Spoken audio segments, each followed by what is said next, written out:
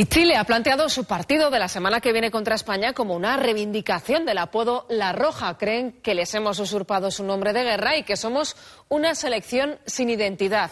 Han hecho toda una campaña en medios en los que han tirado incluso de los mineros de Atacama para defender el copyright de La Roja. Dicen que usemos otro nombre.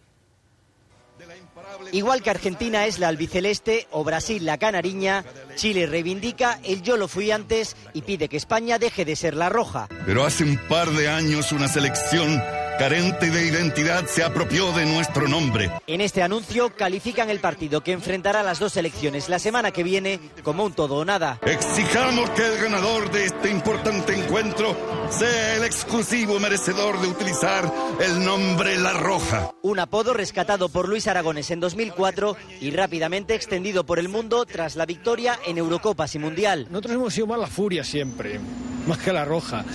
No, pero bueno, la roja nos ha dado buenos resultados. La roja es nuestra. Los chilenos que hagan lo que quieran, que pongan otra. La segunda roja. ¿Te das cuenta? Rojo, rojo, rojo. Sí, pero bueno, y los chilenos en España, por historia, reivindican ser la roja. La roja de Chile. La, la roja, la chilena, es la, es la, verdadera. En esta peculiar campaña, Chile cuenta con la ayuda de 33 rostros conocidos, los mineros que quedaron atrapados en 2010. España es difícil, a los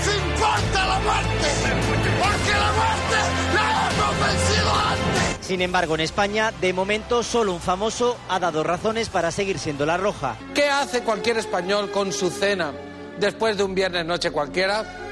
La roja. Pues curiosamente, en el partido del Mundial del miércoles que viene, nadie será la roja. España ha elegido su equipación negra y Chile como visitante tendrá que hacerlo de blanco.